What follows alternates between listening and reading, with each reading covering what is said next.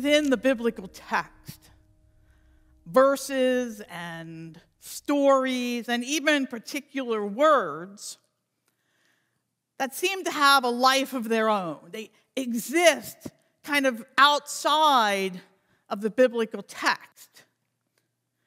Even if you were not raised in the church, if you're not identified as a Christian, if you're not someone who has read through the Bible or attended Sunday school or goes to church every week or, or studied the text in any way, even if you have no relationship at all to Christianity, you probably know some of those stories and texts and verses and words. If you think about it, an avid moviegoer anywhere in the world has probably seen the stories of Moses and the stories of Jesus either as the central theme or a peripheral theme in some blockbuster. You don't have to go to church to know those stories. If you're like me and you like to visit other countries and historical sites, you will notice that there are biblical versions or verses etched on numerous monuments and statues and above doors and on walls and palaces and other churches and other shrines all over in a myriad of languages. If you go to CVS or Rite Aid or Walgreens to get that Valentine's card you forgot to pick up earlier, and you quickly start to look through the cards from Hallmark or American Greetings, you will have a wealth of biblical verses to choose from for any life event. There are verses and words that, although associated with Christianity, seem to have a life of their own and are known outside of the church. The reading for today from Luke is one of those verses. A lot of people know at least the opening part of the blessings. I bet when we were reading it up here, you were hearing it in your head in the way you have heard it time and time again.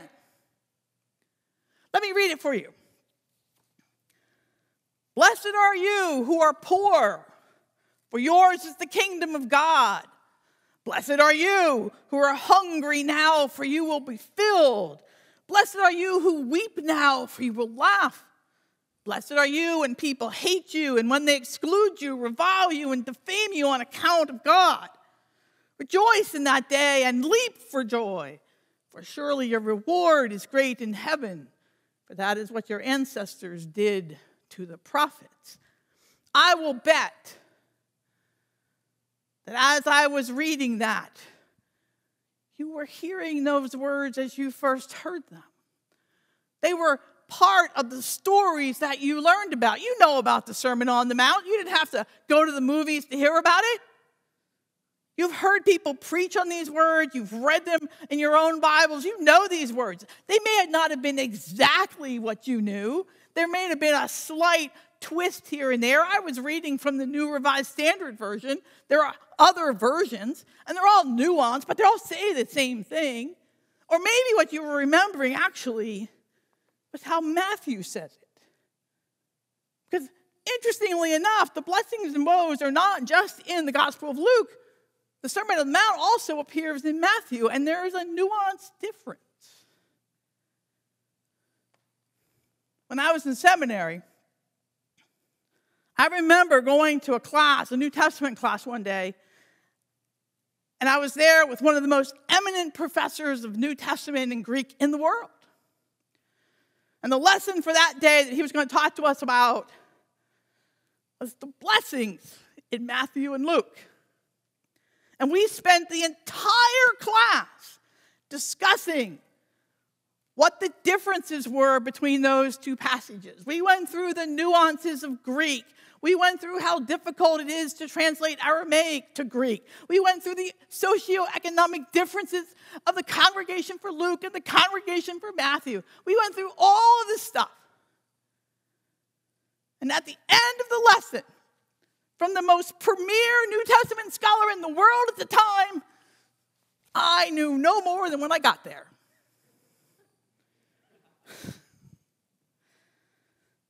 Except for one thing. He said, Here's the question for you What does it mean to be blessed? The question is, what does it mean to be blessed? Not blessed. Blessed and blessed are different.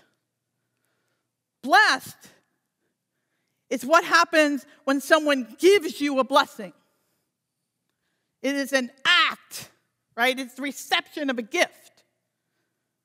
But blessed, blessed is more like a characteristic. It's something that somebody sees in you, not something they distribute to you. It's something that exudes from you. So it is different than being blessed. So, being a modern person that I am, as I start to think about that, I did what any modern person did I Googled it. Now, if you're more old school, you can go check it in dictionary, but they're about the same. Blessed. What does blessed mean? Came up with six definitions consecrated, sacred, holy, or sanctified. Number one. Worthy of adoration, reverence, or worship. Divinely or supremely favored or fortunate blissfully happy and contented, beatified in the Roman Catholic tradition, bringing happiness and thankfulness. Sounds like something we should want to be. Who doesn't want to be favored? Who doesn't want to be worthy of adoration? Who doesn't want to be blissfully happy? Sounds like something we should want to be. But listen to the text. Blessed are you who are poor, who are hungry, who weep, who are hated and excluded and reviled and defamed on account of the Son of Man. That doesn't sound like a lot of fun to me. That kind of sounds like a really difficult life. Loss, sacrifice, isolation, loneliness. Yeah, not, not exactly what I'm aspiring to. But that's what Jesus said at the Sermon on the Mount important enough to be recorded not by one, but by two gospel writers. Blessed are you who are poor, who are hungry, who weep, who are hated, reviled, and defamed on account of the Son of Man.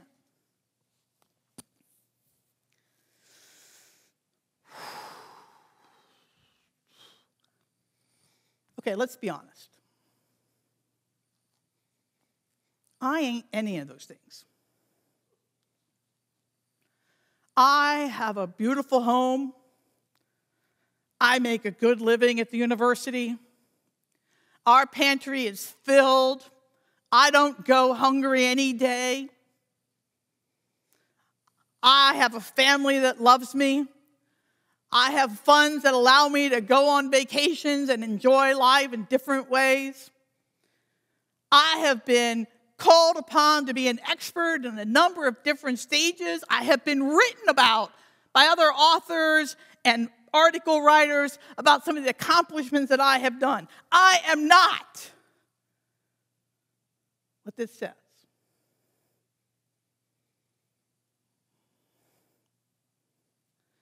I am not. If I just read it that way, if I just read those words. And so I asked myself, What is it to be blessed? And I have to remind myself of two things. To be blessed does not mean how to be a child of God, because I'm a child of God no matter what. I'm a child of God not because of anything I did, but because I was born and made in the image and likeness of God Himself. I am a child of God regardless. It's not about being a Christian either, because Christianity is about a choice. What path do you want to follow? Who do you want to claim as your Savior? Who is your example in life? Who are you worshiping? So, being blessed isn't about being a child of God, because that's a given. You've been a child of God all along. It's not about being a Christian, because you've already made that choice. But Christ says that to be blessed is to be poor, to be hungry, to weep, to be hated, excluded, reviled, and, defied, and defamed on account of God, on account of the Son of Man. That's what it says.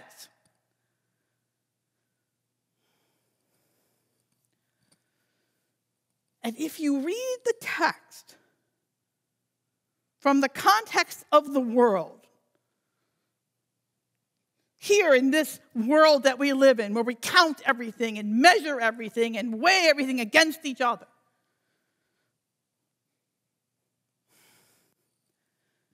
then there is no way certainly for me, to be blessed and to live the life that I live.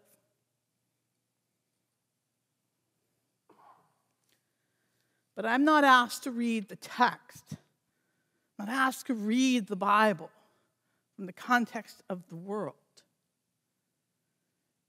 I'm asked to read the text from the context of the grace of God.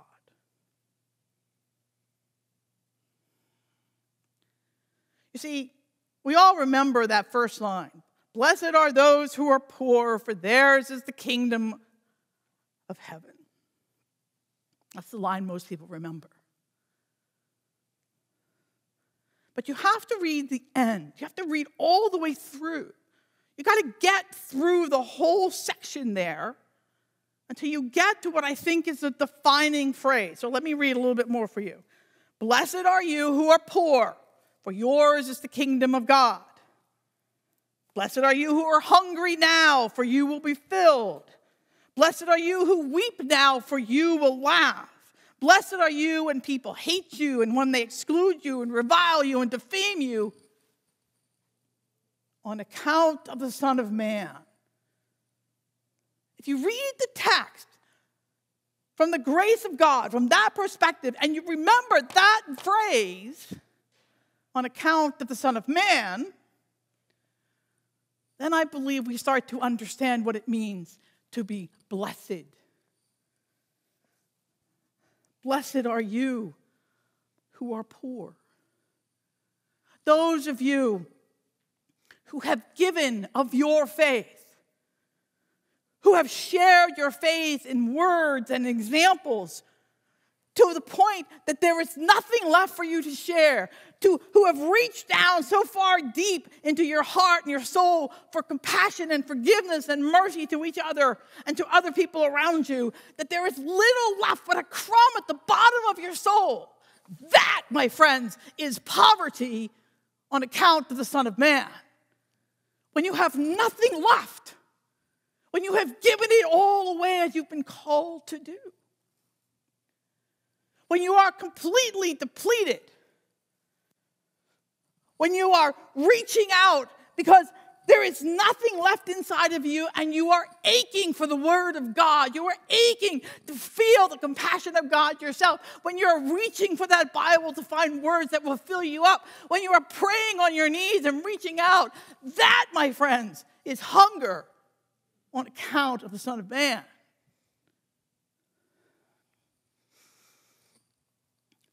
When reaching out to God feels like it is grasping for your last breath, that is hunger.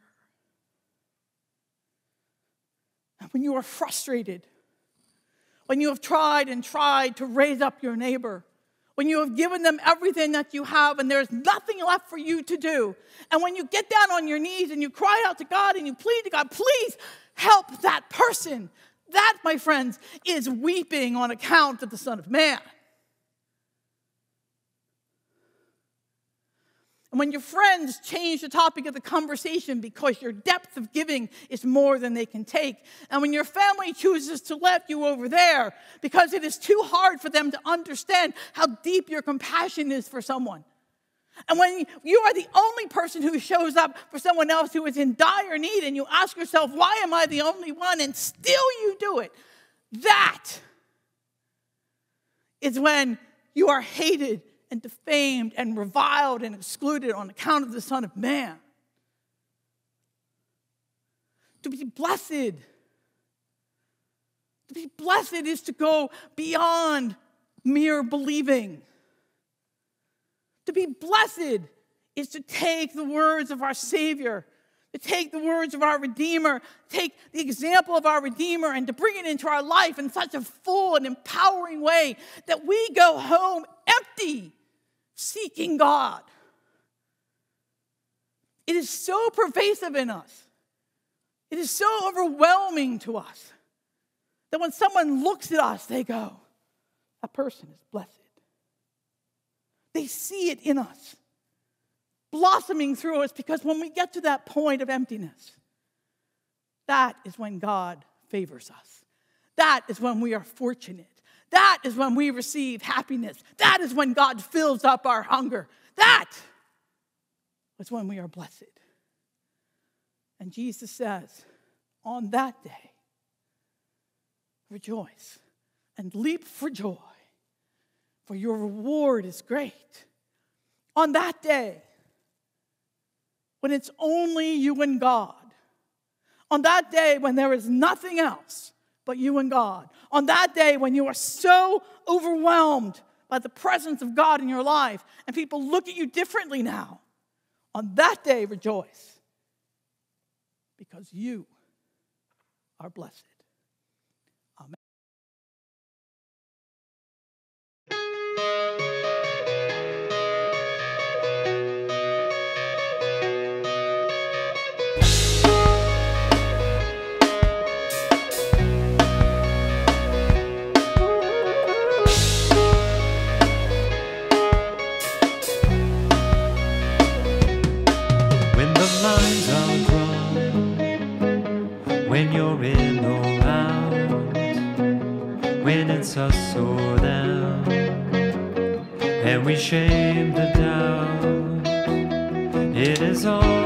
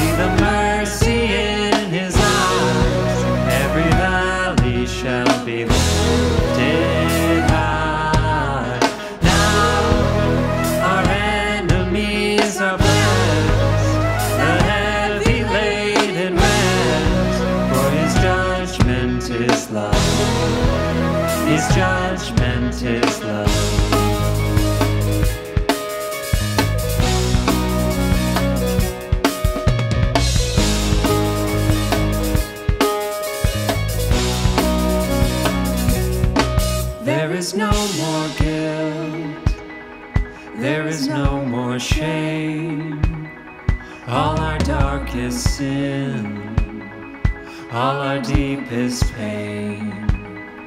Blessed are the poor,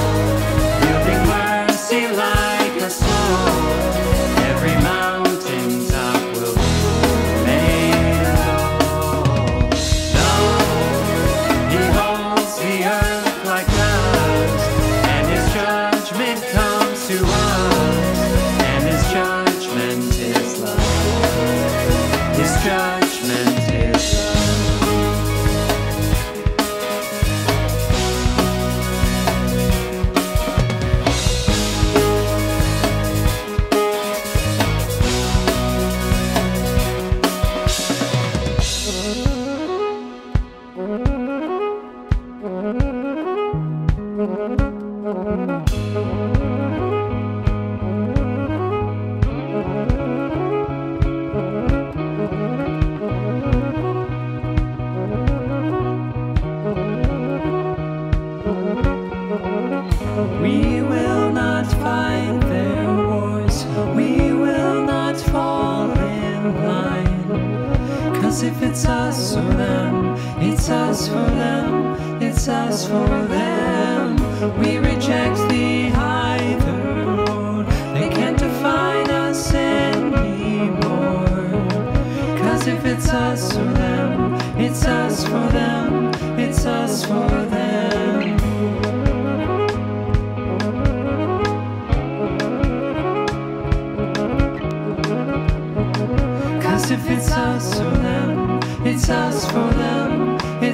For them.